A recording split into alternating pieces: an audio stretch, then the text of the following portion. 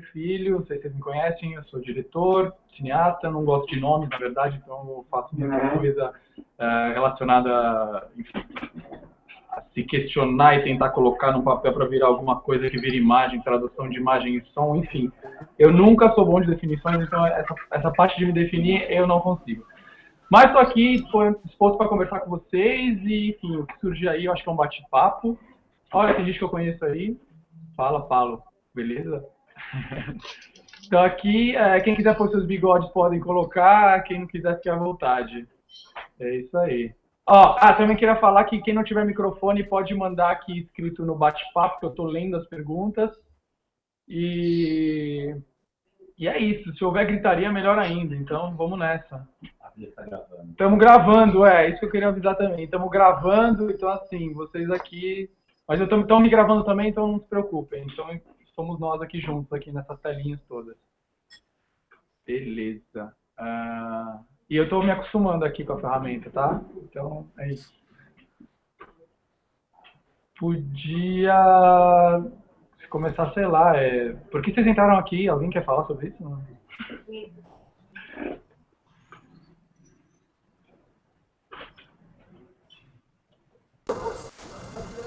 Posso perguntar? Sim, sim, pode. Eu queria saber como é que foi a, a ideia de. Como começou a ideia de dos famosos Doentes da Morte virar um filme. Ah, então. É, é uma loucura, porque é o seguinte, eu tava uh, num projeto, meu primeiro longa assim era um projeto sobre velhinhos, tá? Isso é importante. Chamava Alvorada e, enfim, envolvia a terceira idade, eu queria conversar sobre outras coisas. Foi daí que me atravessou esse rapaz chamado Ismael Canepelli, que é um escritor. Uh, enfim, ele tinha escrito Música para Quando as Luzes Se Apagam, que é um livro incrível, e eu me interessei muito pelo livro. E, e, e falei, cara, o que você está fazendo mais? E daí ele falou, olha, eu estou aqui no meio de um livro que se chama, você vai ver, vou mandar por e-mail. Ele me mandou um livro, assim, que na verdade era um manuscrito, nem estava editado ainda, claro, e tava, era metade, assim, né? Então ele mandou escrito por e-mail com esse título, Os Famosos Doentes da Morte. Eu já olhei e falei, meu, o que, que é isso? Entrei, comecei a ler, li, li até aquele ponto, eu falei, meu, continua, por favor, continua a fazer isso, porque eu quero ler mais. Eu nem sabia que podia ser um filme. Ele continuou trabalhando, me mandou as versões, eu falei, cara, vamos fazer disso um filme. Você topa? Eu joguei o meu projeto que eu estava vigente de lado, porque não era... É, é, é quando você vê que não era aquilo realmente que estava te atravessando, né? Aquela história, quando eu li, eu falei, cara, eu sou de São Paulo, eu nasci em São Paulo, mas esse menino aqui que sou eu, eu quero passar por essa ponte, eu tenho essa, eu, não, eu quero conhecer esse seu mundo. Então foi assim que, enfim, eu praticamente me convidei a entrar nesse universo do Ismael, fui na cidade dele e convidei ele para escrever o roteiro junto comigo, porque ele tinha é, bom, ele tinha uma vivência, ele nasceu naquela cidade onde o filme se passa, ele tinha toda uma, enfim, todo um olhar sobre a cidade que era dele, ele precisava embarcar nesse olhar. E, e, foi interessante, porque enquanto a gente escrevia o roteiro juntos, o Ismael mergulhava cada vez mais no livro. Quando eu convidei ele para fazer parte do filme, é, como ator, né, que ele é o Bob Dylan ali, que era interessante também, que para mim eu queria que ele entrasse no filme de alguma forma e desse a mão para aquele menino que um dia ele escreveu, existia todo um lance de, é, de integração, né? E, e, ele foi escrevendo cada vez mais as páginas do livro, então imagens minhas que eu ia filmando e inspirando ele a escrever o livro, e essas novas páginas iam, iam inspirando eu a, a, a, a desenvolver mais uh, o roteiro e o processo de direção. E foi louco, por isso que lançamos juntos o livro e o filme, Os Famosos da Morte, né, que é um livro-filme, que é um diálogo, não é uma adaptação, porque muita gente acha que é uma adaptação de um livro, e eu não sei se eu conseguiria fazer uma adaptação de um livro. É, eu gostei muito da liberdade que o autor me propôs, e ele também foi, é, foi mudando as coisas do próprio livro de acordo com o filme, e esse encontro foi muito incrível, assim, e farei de novo, adorei esse brincar, fazer essa, essa mistura, porque os famosos ele, ele transborda do filme, né? Ele é o filme, é o livro, as músicas do Nelo, né? Que é um menino que compõe para internet, que está aí, você pode acessar e fazer o download, e as fotos e vídeos da Tuane, né? Que é a Jingle Jangle, que é um perfil aí virtual, que é uma menina que eu realmente emprestei da vida real. ela é, as fotos já eram dela, tudo já eram dela. Então realmente foi um encontro aí entre esses jovens artistas de quarto, né, que a gente pode chamar de quarto porque a gente faz tudo no computador, né, aquela coisa se encontra de alguma forma, como a gente aqui, como todo mundo aqui, discutir. Eu falo, né, galera, se tiver qualquer pergunta eu vou falar bastante, não, não, não se intimidem. Vamos lá. Posso perguntar outra coisa, então, já que tá todo mundo É, que você fez tapa na Pantera, é, na internet e tal. Fez os famosos Doentes da Morte, tem uma série na TV Cultura já para um público mais enquanto juvenil. É, como, qual que é a diferença, tantos formatos que você trabalha, que você sente maior diferença para conversar com esse público? Você trabalha com qual maior, desculpa, eu só não entendi. Qual a maior diferença? É, é, que a internet é uma coisa muito mais imediata, filme, como que você, é, filme já não é uma coisa um pouquinho mais distante, como é que você é, se trata seu com o público qual, e qual a diferença de cada um deles? É que, é que eu acredito realmente nessa integração, quer dizer, a internet faz parte da minha vida é, desde quando eu era adolescente, quer dizer, ela surgiu na minha vida quando eu tinha 15, 16 anos. Então eu acompanhei o processo, quer dizer, eu sou de uma geração, tenho 29 anos. Eu vim desde do VHS até o virtual. Eu vim desde, eu acompanhei a não a adolescência sem internet e a internet chegando. Então existe assim uma coisa que faz parte da minha vida. Então o que acontece? Tudo que eu for produzir, seja em cinema, em teatro agora que eu estou fazendo e, e, e, outras coisas, a internet ela está integrada. É, não, não acredito que a internet quer dizer ritmo e rapidez tanta Claro que é instantâneo, claro que faz com que você é, é, acessa, acesse e, inclusive, torna as coisas muito mais uh, uh, interessante, menos uh, definitórias mesmo, né? Você não conhece o público com quem você está falando, de repente as pessoas que vão escolher o que elas querem ver. Isso eu acho interessantíssimo na internet. Isso faz com que crie-se um nicho, isso faz com que seja, saia um pouco esse, algum poder autoritário de algum canal que que, que, que enfim, uh, uh, lidere uma massa. Acho que esse conceito de massa, audiência é antigo, Ibope, antigo. Não é sobre isso, entendeu? É sobre acessar os nichos, é sobre conversar com aqueles que querem falar com você.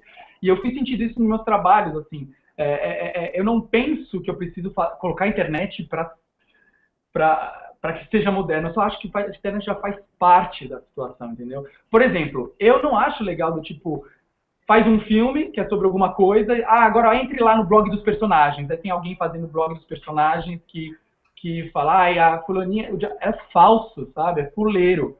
Não funciona. Eu não quis fazer isso nos famosos. Eu não quis criar o blog dos personagens. O que, que aconteceu? A gente falou, não, gente, isso aqui tem que vir numa parte real. Esses vídeos, essas fotos são da menina. Então as pessoas podem acessar essa menina, porque é dela. Essa vida é dela. Ela construiu assim né? Quando elas falavam assim, é, gente, vamos lançar o blog do menino sem nome, eu falava, gente, o blog é o livro. E eles não entendiam isso. Mas o livro, mas o livro é uma coisa que eu falei, não, gente, o blog é o livro. Tá aí o moderno que vocês querem entender. É, existe uma mistura aí de linguagens, de suportes, coisas que a gente pode é, é mesclar e, e, e, se encontrar. Tá aí, eu acho que a, a resposta está na é a agregação entendeu? Não acredito no fim do cinema, no fim, não sei o que, eu acredito em transformações. Aliás, fins são bons para as transformações que virão. E o mundo precisa de ficção. Isso você sabe desde a época dos gregos, quando a gente tem o registro ali. Enfim, e as coisas só se contam e recontam e recontam. Deixa não precisa ficar preocupado com isso tem cineasta que tem essas crises né, de criatividade, o que, que eu vou falar agora. Gente, vai para a esquina, vai para a esquina e daqui a pouco vem alguma coisa. É assim, as coisas te atravessam e elas precisam ser contadas. A narrativa faz com que os outros se interessem pelo aquilo que você está falando. Então é muito importante narrar. É muito importante contar uma história do seu ponto de vista, sabe? Do tipo, vai contar o que aconteceu ontem lá.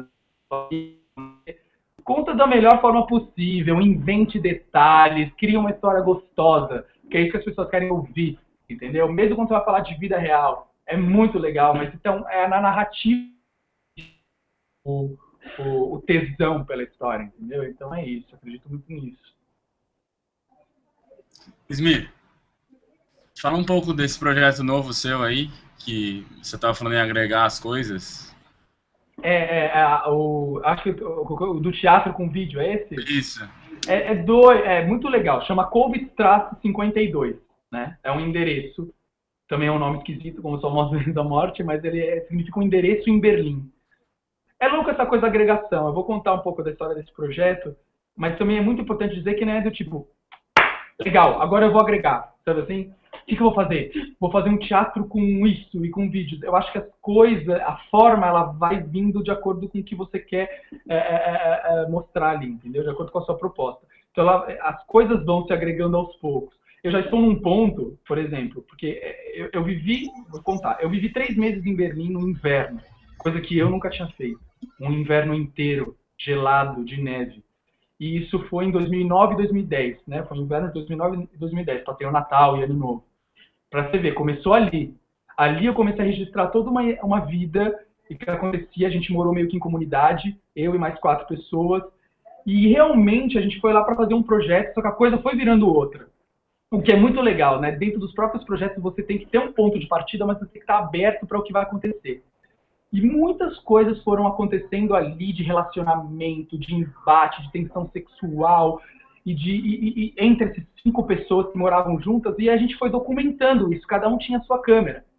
Então foi muito legal, eu falei, meu gente, então filmam tudo, filmam tudo do ponto de vista de vocês, que eu vou fazer um documentário disso aqui. E voltei com essa ideia de fazer um documentário. E daí as coisas foram se transformando ao mesmo tempo. Eu falei, não vou fazer um documentário. Eu falava, meu, falta uma parte aqui, eu quero que as pessoas contem como foi a experiência delas será que eu vou agora fazer depoimentos? Eu comecei a falar, não, não é isso, não é isso, até que chegou o ponto, né, depois de pensar muito, e, e por causa dos encontros que eu tive durante os anos, que eu falei, cara, é o seguinte, a gente tem que montar isso, isso tem que ser o teatro. O Ismael Caneperi também participa desse projeto, então ele falou a mesma coisa, meu, isso aqui pode ser uma peça. Foi daí que a gente chegou ao encontro, meu, vamos encontrar personagens ali no real, no palco, em que as pessoas possam ver, dialogando com aquelas pessoas reais dos vídeos que viveram aquilo. Então, é uma espécie de teatro documentário. Né? A gente documentou toda uma existência que a gente vai dialogar é, é, no palco. E no palco vai ser uma ficção. Então, vai ter câmeras no palco, vão ter é, vídeos no palco, mas, mais uma vez, não é pelo lance de ser moderno, como acontece com muitas peças aí, né? Ah, então põe vídeo no palco, põe umas projeções, vai ficar lindo, isso é cinema. Eu, eu já não acredito que é assim. Eu só fui para esse lado depois que eu percebi, cara, o conceito é esse, né? É, o vídeo tá ali quem você, é, aqueles que viveram. E aqui no palco estão aqueles que estão representando ou encontrando com, dialogando com aqueles. E daí é esse o projeto. Por isso que ele é complexo, envolve cinema, envolve documentário, envolve palco, um espaço novo a se explorar, assim, para mim. Eu acho que eu tenho esse, eu tenho esse tesão, assim, de reunir linguagens diferentes, sabe? Colocar elas no mesmo é, é, agregá-las mesmo, sabe? Agenciá-las, vamos dizer assim. E ver o que pode novas formas de, de, arte, assim, é quando ela se mistura, quando existe o trânsito, né, de uma coisa para outra.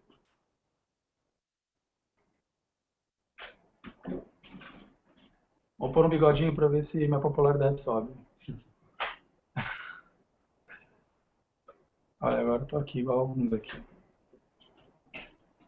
Tem gente que nem precisa de bigodinho, ó, já tem. Ah, é, ó, tem bate-papo aqui. Ah, eu não tinha. É verdade.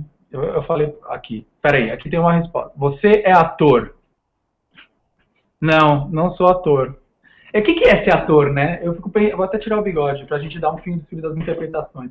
Você é ator na vida, quer dizer, o que, que você está fazendo hoje, agora, naquilo que você faz? É, existem muitas máscaras, muitas coisas que a gente coloca, que a gente é, para poder realizar certas coisas, entendeu? Então assim, é, ator, eu assim, eu poderia me envolver em alguma produção minha, poderia. Ainda não vi o horário disso acontecer, ainda não vi a hora. Essa próxima peça aí que a gente estava conversando agora, que é o Covid Trace, é justamente isso. É, cara, eu tô ali, mas num documento, aconteceu comigo. De alguma forma, eu, eu, eu me envolvo com os meus personagens. E e, e, eu consigo viver a, através deles. É muito doido, porque eu fico pensando, cara, os famosos da Morte, né? Um menino do Rio Grande do Sul que tem essa ligação com a internet e, e foge de uma cidade pequenininha. Quer dizer, a, a questão dele, a angústia dele é, é, é em borda dessa cidade. Eu nunca vivi isso e nunca poderia viver, porque agora eu tenho a minha idade, a idade que eu tenho. Quer dizer, e morei em São Paulo, nasci em São Paulo. Só que através do filme eu consegui viver esse sentimento. É, é, isso que eu acredito no cinema, até para mim, assim, é como eu é, me espalho nos personagens para justamente entender as questões deles, tentar em conexão com as questões deles e passar isso através da tela. Não, não deixa de ser um ator da vida, eu acho. Acho que todo mundo é um pouco. Vem aqui, ó. Uh, outra pergunta. Daniel Silva. As dificuldades e questionamentos da adolescência são temas recorrentes em seu trabalho. Qual o interesse que este mundo te desperta? Tá. É doido, porque é o seguinte: uh, adolescência, na verdade, o que me desperta são ritos de passagem. Eu descobri isso, né? Eu via que durante meus curtas eu falava muito sobre adolescência, uh, ou alguma coisa assim, que foi um curta, meu primeiro curto adolescente, depois veio Saliva, que é sobre o primeiro beijo de uma menina de 11 anos que tem medo de saliva, e os famosos Doentes da Morte, que é o longa-metragem que fala sobre adolescência, internet e os pontos existenciais aí. Que eu percebi que é isso. Eu, eu, gosto muito das pontes, dos ritos de passagem. Por quê? Porque você está nesse momento que você é, é, nebuloso, tem uma névoa na sua frente, você ainda não entende o que você está passando. É necessário atravessar essa ponte para que você possa olhar para trás e entender o que está acontecendo. Eu adoro esses momentos nos filmes, nas minhas produções, que é mostrar essa confusão, esse rito de passagem, essa transformação desses personagens. Um momento que eles conhecem mais sobre si mesmos, entendeu? E eu acho que o adolescente é o momento que está fervilhando, está pulando, ele está ali, vai. É, vou checar aquela tomada, põe o dedo na tomada, leva um choque. Oh, gostei, oh, não gostei, não quero mais. Então, quer dizer, ele vai se conhecendo, vai experimentando.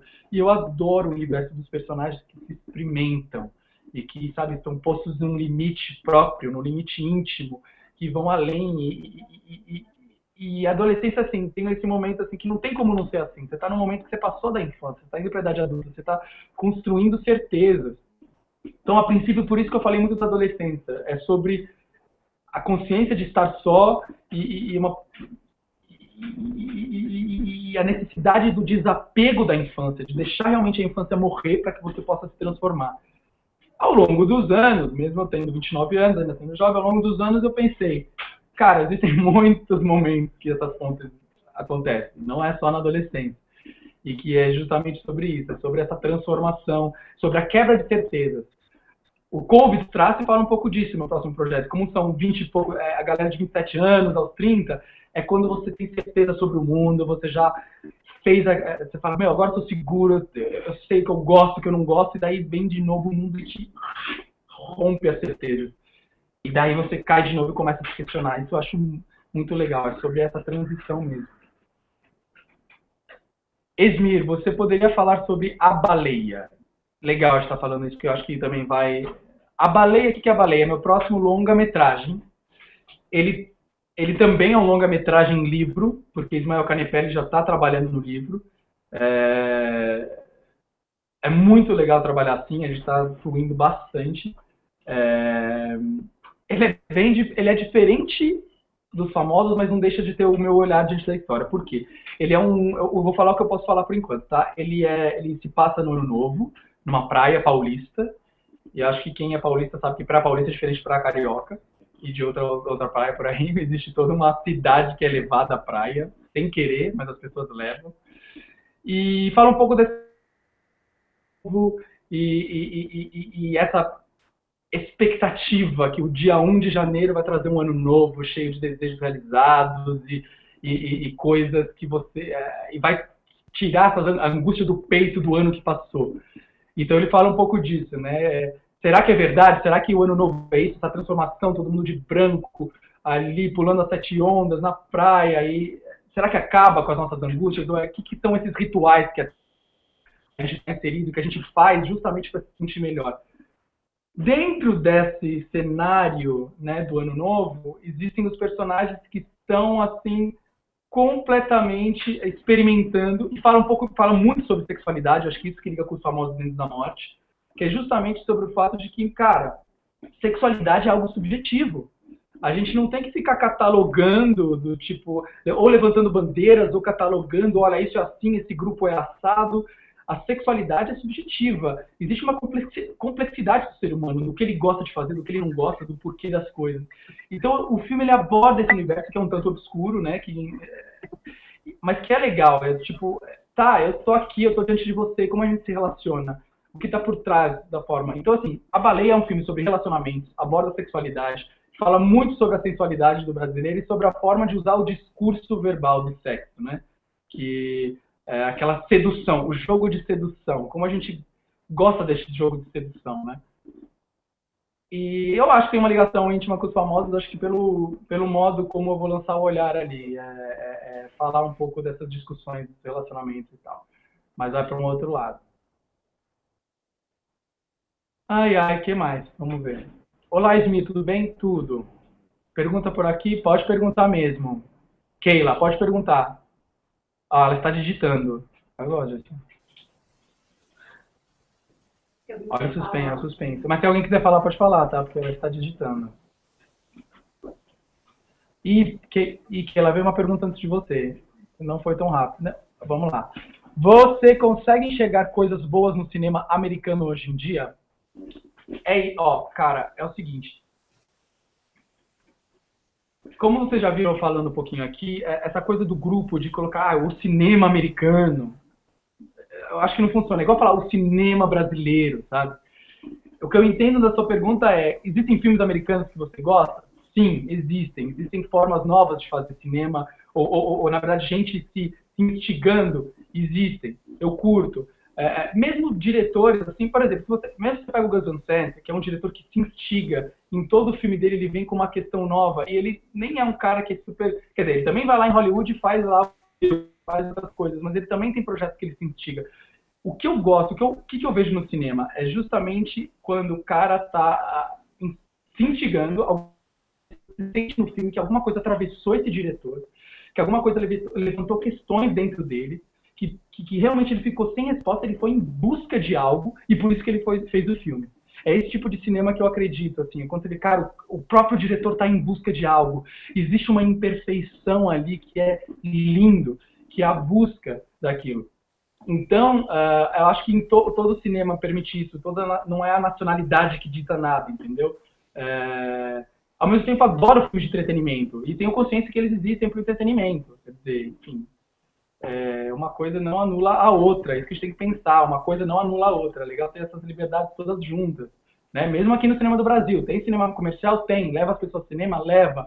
Tomara que também levem para os outros filmes. Tomara que isso seja um, um movimento que leve mais as pessoas a, a aceitar esse cinema brasileiro, que não é uma identidade inteira, e que possa, enfim, estar uh, conhecendo novas formas de narrativa, que é tão são tão ricas, né? Deixa eu ver. Mas, Oi, uma pergunta aqui, fala. Beleza? Fala. E aí? É, como é que vocês fazem para fugir? Tá me ouvindo? Tô ouvindo.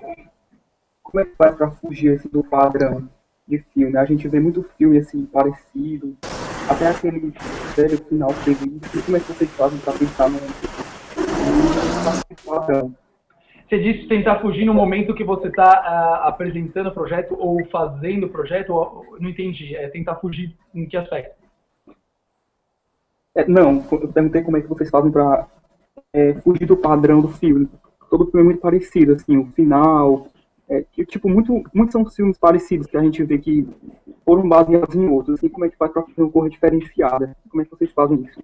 Porque está em você. Eu acredito assim, o cinema está no exercício do seu olhar. As histórias são muitas, as histórias já foram todas contadas. É o que a gente fala, cara. Você está aqui para engolir tudo que está à sua volta, é, é, mesmo no, em termos de filme, de, de livros e de vida.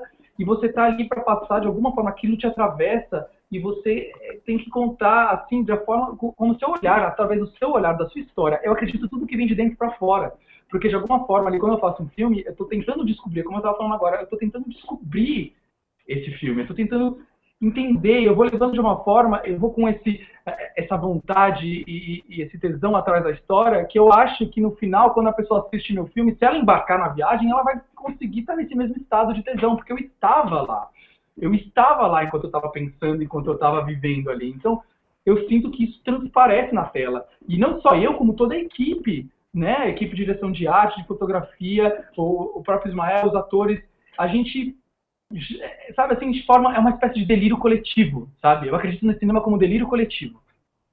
todo mundo delira junto, acredita naquela realidade, vai, e está todo mundo acreditando, existe ali um público que vai é, se envolver por isso. Esse é o meu discurso quando eu apresento os meus projetos, porque é claro, vai falar com instituições, com distribuidoras, com produtoras, e elas vão me perguntar, mas por que não, afinal, pessoas? Mas quem falou que isso vai agradar as pessoas? Quer dizer, a gente não sabe. Tem regra, você não pode dizer isso. Isso a internet é a maior prova. Eu sempre falo, cara, põe um vídeo no YouTube, vai lá alegrar as pessoas, vê se vai ter quantos, quantos views aí.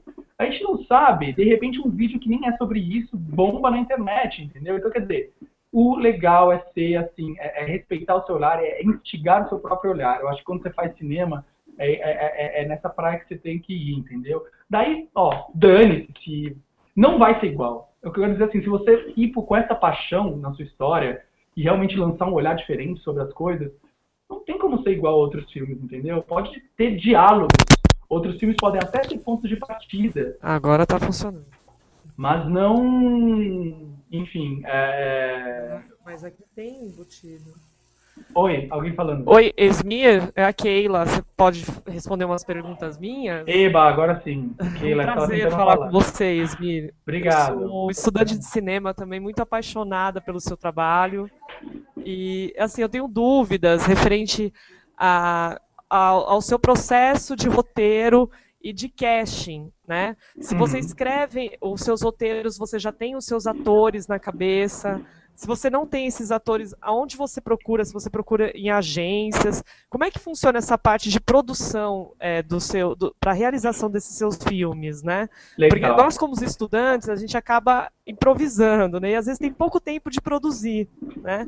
Quanto Sim, tempo... acaba convidando amigos, essas coisas, né? Isso, né? Eu sempre e, assim, fui contra. Fica aquela coisa cinema universitário, é, né? Mas cara, desde os primeiros curtas de é muito louco. Desde os meus primeiros curtas de universidade eu falo assim, eu não vou te chamar porque você é meu amigo, esquece, o que, que você vai. Entendeu? Então vamos lá, vamos conversar. Você tem a ver com isso ou não?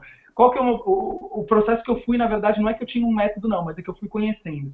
Eu acho assim, quando, no momento que você está escrevendo o, o, roteiro, muitas pessoas passam na sua cabeça. Isso é só lindo. Isso é lindo. Realmente. Puxa, puxa de onde vier. Da Fernanda Montenegro, a atriz que você conheceu ali. Enfim, não importa. Essas imagens são muito interessantes para você no momento que você está construindo o personagem. Eu procuro, depois de um tempo, claro, tem momentos que eu falo, putz, isso aqui é a cara dessa pessoa, eu vou tentar conversar. Mas já existiu roteiro que eu cheguei para essa pessoa, quando eu conheci, frente a frente, eu já não quis. Já não era uma Sim. coisa, putz, não é energia. Não é essa energia. Então eu acredito muito nos encontros, Keila. Eu acredito muito que do tipo, uh, uh, uh, eu, por exemplo, eu vou, eu, nos famosos Doentes da Morte, eu fui até o Sul. O processo de casting foi assim. Primeiro, eu, na internet, lançava diante de um perfil, ficava procurando essas pessoas de Fotolog e Flickr do Rio Grande do Sul, me comunicava com elas, querendo conhecê-las, marcando o, a nossa conversa mais para frente. É óbvio que a maioria não acreditava em mim, isso. e outros foram entrando no jogo, outros foram quero te encontrar. Além disso, eu fui para o Rio Grande do Sul e entrevistei mais de 400 adolescentes da cidade, e pessoalmente, porque justamente eu acredito nos encontros. Quer dizer, existia uma produtora de elenco junto comigo, que é a Patrícia Faria, que era incrível, sensível, e ela estava comigo do lado, mas assim, não tinha como eu não. Eu não é, é, é sabe, eu não vou pelo nome, eu não vou pelo. É, é, é, tem a ver, esse personagem, essa pessoa vai se encontrar com os personagens, e, e, eu, e eu, tenho uma coisa assim, quase do tipo, meu, o que, que, que do real desse ator ele vai me trazer no personagem? Porque eu ainda certo. acredito nisso, sabe? E esse processo todo, Esmir, esse processo todo, quanto tempo levou para você lá, definir esse elenco, né? Nos famosos da Morte foram uh, foi um mês de viagem nessa primeira parte. Depois eu selecionei desses 400 eu selecionei 40 e nós fizemos um workshop de uma semana. Que o workshop nada mais era com o Roberto Aldi, que é um, um ator do, do Vertigem, que também me, me acompanhou e fez a preparação a gente lançava exercícios para esses adolescentes, esses 40, e ficava, eu ficava observando, dizendo quem dali. Tanto que eu falava, gente, eu não vou escolher vocês, vocês não estão aqui para um processo de seleção. Quem vão escolher, vocês vão escolher vocês mesmos, entendeu? E como fazer isso? Sendo de verdade aqui. Aqui é o momento de ser de verdade, porque assim, as máscaras não vão funcionar. Seja você de verdade, porque o personagem está aqui. É, que nem a Fátima Toledo disse uma vez, tem que ter a psique daquele personagem, né? Então acho que. Ou encontram um diálogo, né? Mais do que isso. Nossa, é como, por exemplo, como o olhar do Henrique Larré é, e a angústia dele com outras coisas da vida dele, como ele se encaixava nas angústias ali. Ou como a menina, por exemplo, a, a, a Jingle Jangle, que é a menina do filme, no roteiro ela era dark, ela era, era muito engraçada, ela era mais depressiva. Eu vi ela assim, por exemplo, no roteiro. Quando eu conheci a Tuane, tudo mudou. E eu estou aberto a isso. Falei, gente, olha isso aqui. Isso aqui é, uma, é um outro tipo de morte, um outro tipo. É, é etéreo, é, é, é, branco, é uma morte branca, uma, ela tem uma beleza. Ela é linda, mas ela tem uma, uns olhos tristes. Então isso muda. Eu costumo emprestar da vida real para o filme, entendeu? Entendi. Mas isso não tem. Mas pode ser ator ou não ator, que no caso da adolescência é muito difícil um ator, adolescente, enfim. É... Eu, eu, assim, eu coloco vocês, diretores, roteiristas, num pedestal absurdo, né? Eu estudei, eu comecei a estudar cinema, mas eu gosto muito da área de produção, de assistente. Eu, o, meu, o meu objetivo é chegar um dia a ser assistente de direção. Eu nem sonho chegar a ser diretora, né? E assim, Quais, as sugestões que você me dá, Esmir? Porque assim, a gente faz a faculdade e depois assim, São Paulo tem milhares de cursos. Mas está no trajeto. Acho que a sugestão é seguir esse trajeto. É, se tiver uma oportunidade, vai em uma assistente de produção, já fui estagiário de produção, uh, já fui assistente de gestão. É, a gente está correndo. Né? Eu estou agora, nesse momento, que é aqui, ó. Aqui tá com o meu chefe, meu chefe me liberou aqui do trabalho, a gente faz trabalho de vídeo institucional, a gente faz então, comercial, videoclipe, né? Mas... Então, tá na experiência, tá na experiência, entendeu? É, tá em você experimentar e ver, puta, é isso que eu tô curtindo, não dá pra só... É, claro, proponha-se uma meta, mas vá na experiência de, de, de se relacionando, é, é isso. Com certeza, eu... não tem outra forma, é né? Mas, Esmir, eu tô ansiosa pro seu próximo trabalho, viu? Principalmente da assim, eu, eu sou gay, né? Então, assim, principalmente para a parte GLS, assim, aquele alguma coisa assim me tocou muito quando eu Sim. vi, né? E é legal alguma coisa assim, porque a, a, sexualidade, ela é realmente uma, uma confusão e é na cabeça de todo mundo, não tem problema. Não, não, então, é, não, não, não mesmo. Eu sou, assim, nem preconceito me atinge, é, é sabe? Quando você... Porque não, não tem, mas assim, é legal você se ver na tela, né? Porque eu tenho 30 anos, nos anos 90 80. Geração do medo, né? Não tinha, não tinha alguém que assim que falasse dos nossos conflitos, né, dos nossos problemas, tal. Então assim, é muito bacana e eu tô ansiosa para guardar seus próximos trabalhos, viu? É Obrigada por responder minhas perguntas. Legal, obrigado, Keila. Beijão. É, deixa eu ver, tem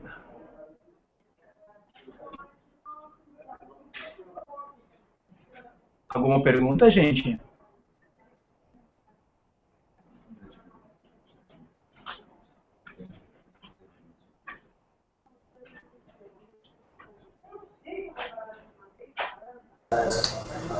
Te perguntar de novo? Vai.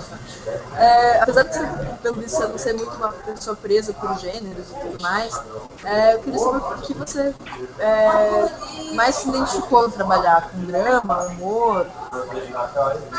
É, é, engraçado, né? Porque eu acho que cada projeto é um projeto. E eu vou realmente, por exemplo, assim, é, muitas pessoas, quando eu vou apresentar os famosos, isso é uma curiosidade engraçada eles falam assim, nossa, mas você é tão agitado e fala tanto e tá rindo, e eu achava que você ia ser tipo um cara deprê, e isso aqui, porque o famoso tem uma questão de ser muito forte. Eu falo, cara, não tem a ver com o modo. Tem a ver com aonde o universo que você mergulha, entendeu? Então, assim, é claro que o Tapa na Pantera, por exemplo, que surgiu de uma forma coletiva, junto com Maria Alice e junto com o, o, Rafael e a Mariana, que eram os amigos de universidade que a gente fez junto, o Tapa na Pantera, ele vive momentos de alegria, de diversão. Então aquilo é óbvio que ia gerar isso, entendeu? Nos famosos, por exemplo, o set era muito quieto. O set era muito sentimental. As pessoas, é muito engraçado você ver o seu diretor de arte às vezes chorando com alguma cena, ou as pessoas se questionando coisas. Você vê que o trabalho contamina, entendeu? E é, a cena da mãe com o menino, quando os dois se abraçam, eu lembro que quando eu olhei para trás, assim, acabou de gravar, eu olhei para trás, estava todo mundo chorando. Forte, não é só eu, eu tava chorando sozinho, assim, meio escondido. Então, quer dizer, é, eu sinto na hora que está acontecendo a cena o, o tipo de. É, a, a, é, a, vida, né? Porque a vida também não, ela não é só triste, ela não é só engraçada. O Saliva, por exemplo, que é um curta, ele tem toda uma tensão, uma melancolia ali dessa menina que tem vontade de beijar e tem medo de saliva. Mas, ao mesmo tempo, tem cenas muito engraçadas, assim, que, que vão pro nonsense. E, e é legal. A cena do, do vinho da mãe com o filho, que, não sei, eu vejo no cinema que é uma cena que as pessoas dão risada, né? Que a mãe tá bebendo com vinho, eles ficam...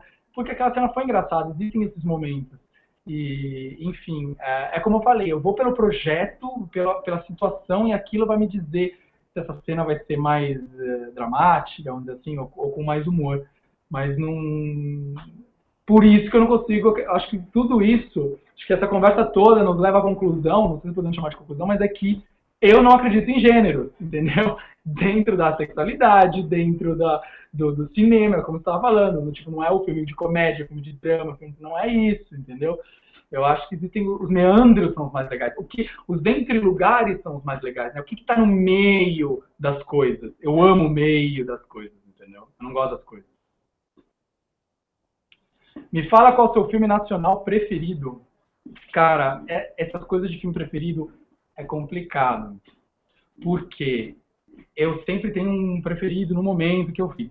Vamos pensar, tem, ó, tem um que me atravessou muito, que eu fiquei assim, que eu saí querendo respirar, que eu vi agora essa semana, que é o Evoé, do, do The Celso, que é do Tadeu Jungle, né, e da Elane César, só que é sobre o Zé Celso, a vida dele, e cara, na boa, é um filme que você tem que ouvir esse cara, porque esse cara está falando sim sobre liberdade de expressão, sobre liberdade de si mesmo, sobre quebrar com esses muros que faz com que a gente, enfim, seja prisioneiro.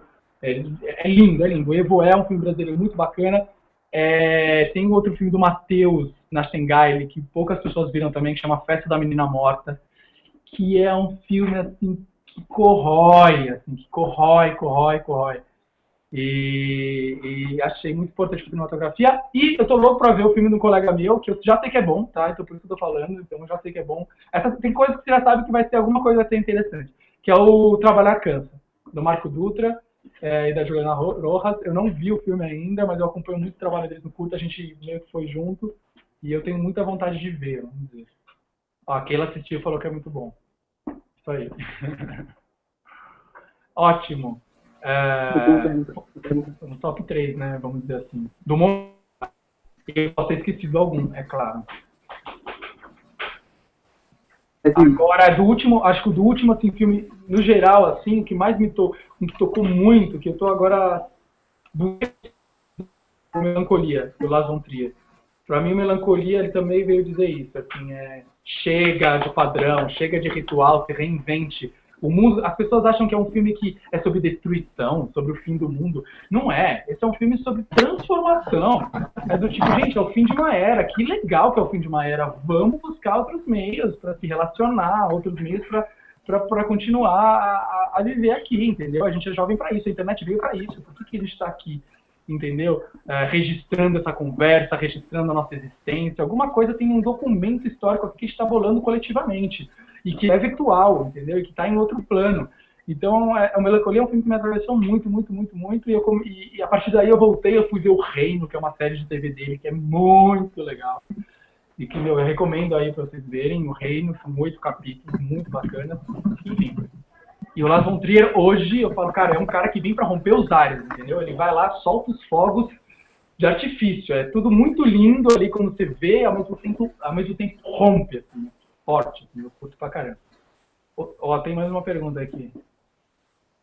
Você escreveria um roteiro para outro cineasta dirigir? Caso sim, quem gostaria que dirigisse? Bom, voltando à questão, como eu acredito nos encontros, eu posso dizer que isso é extremamente possível. Se eu escrevo alguma coisa e de repente chego ali num ponto que encontro alguém e falo, nossa, essa pessoa nossa, como ela iria abordar esse universo, pode ser que isso aconteça. Mas sempre viraria, eu não conseguiria dizer, responder a segunda pergunta, porque não conseguiria dar o nome de alguém sem saber nem o projeto o qual eu estou falando, então não dá para responder. Mas sim, poderia acontecer. O que está acontecendo agora comigo, eu estou numa produtora que é a Saliva Shot, que é a minha produtora, e a gente está produzindo programas para é, programas de TV. E são programas formatinhos muito legais, é, no GNT principalmente, o Viva Voz, que está no ar, com a Sara, no GNT e a gente está lançando mais três programas. E eu faço assim, eu sou um produtor, só não sou diretor, mas eu crio o formato dos programas e eu olho assim, junto, e falo, puta, essa pessoa é legal dirigir, essa pessoa e tal. Então eu já estou exercitando um pouco isso. É, é, é, legal, outra forma também de trabalhar com audiovisual e também com entretenimento, que é outra história, mas que eu gosto muito, que é um programa, inclusive, muito bacana, que vai ao ar às quartas-feiras aí. Todas as quartas-feiras, às 11 horas da noite, na GNT, Viva Voz, é bem legal. Eu tenho uma pergunta, mas não fez, pessoa. Aqui. Escreveu. ah, tá. Fala. É, é, pra você, o que é um, um filme bom? Assim, é aquele que toca as pessoas, ou que faz as pessoas é, fugirem da realidade, de certo momento, de certa forma? São, assim, então, eu acho que o filme bom é aquele que está procurando. Eu acho aquele que você vê que está atravessando uma questão, que está te doendo uma ferida. O filme bom é aquele que você sai e ainda não acabou. É esse o filme bom. Você saiu e você não dá para falar se você gostou ou não. Você ainda está com muitas questões e de repente você acorda no outro dia e está pensando nele. É o filme que, cara, é, é, é, é o filme que você não consegue falar rapidamente sobre ele. Tem que sentar, seja num bar ou seja com amigos, e vocês ficam discutindo horas efeito, porque não está no diretor, eu não acho que está no diretor nem no filme, mas sim no efeito que isso causa. Por isso que vai causar efeitos diferentes nas pessoas. Eu acho que é, é, é, esse é um, é um filme bom, assim. É um filme que não acaba. Eu gosto desse, desse pensamento. Assim. O que mais te motivou, Ana Carolina Martins, o que mais, Ana, é, Ana, o que mais te motivou a escolher essa carreira profissional? eu acho que o que mais me motivou foi a vontade de transformar as coisas em redor em narrativa. A vontade de, a, a, de lançar um olhar meu sobre alguma história que estava acontecendo e, e, conversar com o público. Eu acho que antes de cinema, eu sou um comunicador. Eu estou ali num papel de comunicador. Estou comunicando. Na verdade, não é só comunicando, né? Mas eu estou conversando, estou estabelecendo um diálogo com o público. Então, é isso que me motivou. Quer dizer, eu, já, eu gosto muito de pessoas, eu gosto muito de me relacionar, eu gosto muito dos encontros. E isso era uma coisa que sempre me, me animou, me, me trouxe, assim, uh, me dá criatividade, me dá tesão de vida, de ouvir o outro e saber como o outro pensa e, e, e discussão, eu gosto muito. Então, eu acho que isso me motivou a falar, putz, eu queria trabalhar, eu, eu queria de alguma forma falar com mais pessoas. Como eu faço isso? De diversas formas. E o cinema foi uma delas. Por quê? Porque eu, eu me encanto com imagem e som. Se você for ver meus filmes, é, você vai ver que tem muitas respostas no ar. De propósito, porque eu gosto disso. Eu gosto de deixar espaço para as pessoas poderem discutir, não apontar saídas definidas, entendeu? Então, o que acontece? Eu amo a sugestão. E o discurso mata a sugestão. Se você for ver, eu estou fazendo um discurso lógico, vocês estão entrando no meu discurso, né? E estão raciocinando junto comigo é legal, é muito legal, eu gosto muito disso. Mas eu falo, cara, quando eu ali no filme, cada um que está vendo, pode ser 3 mil pessoas, pode ser 10, cada um está construindo uma coisa diferente, de acordo com a combinação daquela imagem e do som. E que, e que podem transformar a vida da pessoa, pode ser ponto de partida para a pessoa pensar em outras coisas. Então, isso que me encanta no cinema, sabe? É poder, é, ser, é, é, é uma nova forma de discurso que não é, verbal, que não é, é, que não tem uma, que tem uma, que você pode brincar com a narrativa e que cada um vai criar uma narrativa na sua cabeça. É isso mesmo. Então, quando as pessoas, muitas pessoas me perguntam, ah, mas por que que no final não diz isso? Então, por que que isso não ficou claro? Porque é você, tá em você. Meu, meu foi o processo de fazer. O filme na tela é de todo mundo que assiste. Ah, e quando isso surgiu, nossa, eu não sei. Aí que tá, essa vontade toda eu não sei. É, é, agora eu tô falando sobre ela, pode ser que não, pode ser que um ano, três anos atrás eu nem estaria falando sobre isso, entendeu? Eu acho que a gente vai entendendo as coisas. Não sei quando surgiu. Acho que é bem natural também, não é uma coisa que se procura, não. É uma coisa que você vai se relacionando. Enfim.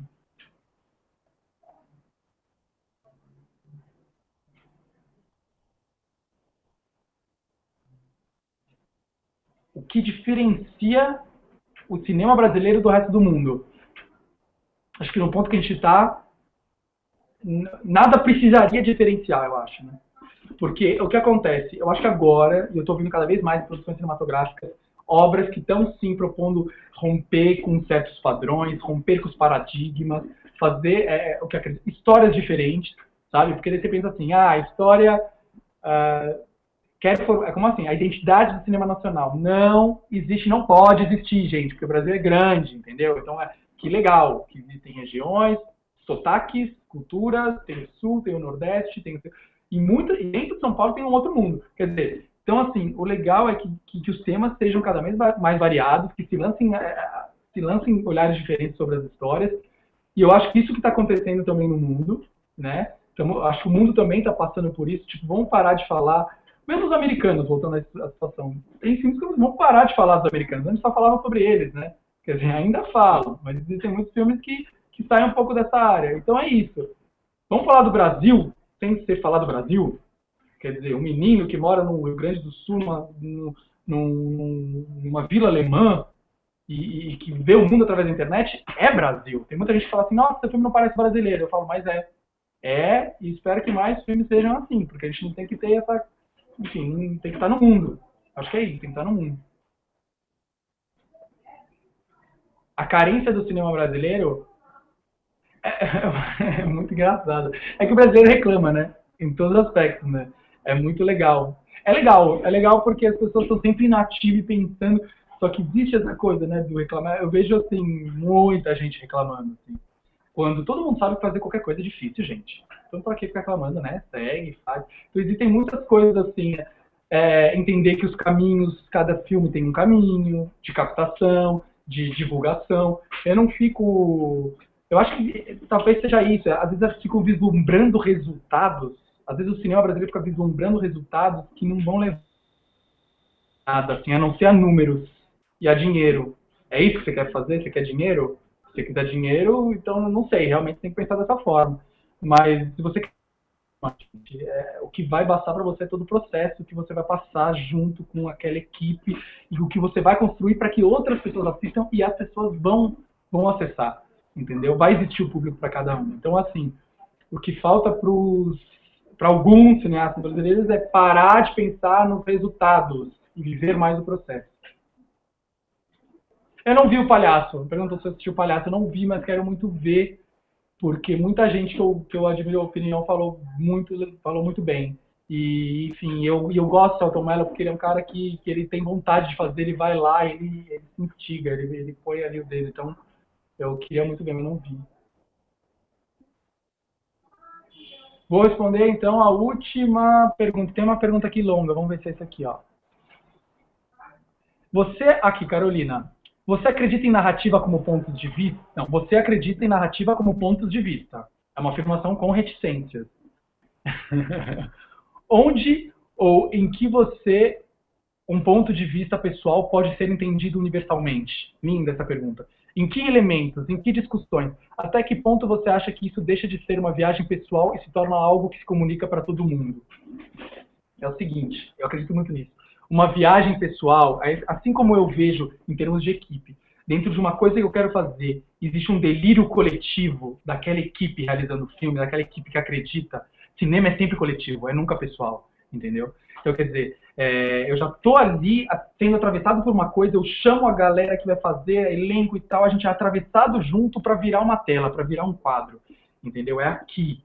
E aqui atravessa o público, entendeu? É, então, qual que é o ponto ali? É, não é hermético, não, é, não fica só pessoal. Eu senti que quando você é sincero com as suas questões, você vai ver que, meu, muita gente tem as mesmas questões, muita gente passa por aqui. É igual aquela que acabou de falar aqui, cara, eu me vejo nos seus filmes. Eu falo, que lindo! E é isso, é como a gente se une, como seres humanos, e não importa a quantidade, como a gente se une em um filme, em uma obra. É, os diretores, as pessoas que fizeram a equipe, participaram da equipe e os espectadores. Então tá aí, é, não temos que ter medo dos pontos de vista, não mesmo. O lance é como usar isso de forma generosa. Está fazendo para alguém, Entendeu? Eu faço para alguém, mas é, me atravessa. Entendeu? Me atravessa. Eu não faço para mim entender. Eu quero descobrir. Entendeu? Quero entender para descobrir algo. Eu quero ver a coisa me atravessando. Eu quase sou um meio pelo que a coisa entra para sair. Eu acredito mais nisso. Então precisa passar por aqui dentro. Entendeu? Precisa passar pelo que é interno. É... Daí sim, para atingir a forma mais sincera as pessoas. É isso que eu acredito. Temos que encerrar, não é? Gente, Muito obrigado, muito legal a conversa, perguntas muito boas. Espero que não tenha buzinado muito no ouvido de vocês, mas eu vou continuar buzinando. É só falar comigo, é só me chamar que eu vou estar por aí, para isso. Valeu, Marcinho, muito obrigado. Valeu. Hã? Ah, é. Quem, quem quiser pode assistir no YouTube essa conversa nossa e pode repassar para quem quiser, que quem não estava aqui pode ser que atravesse outras pessoas também. Então vamos lá. Volta sempre, hein? Legal, voltando. E ó, lembrando que a gente está sendo gravado, todo mundo. Obrigado por participar. A gente está junto aqui no nosso pequeno delírio coletivo e que vai ser agora postado no mundo. Obrigado.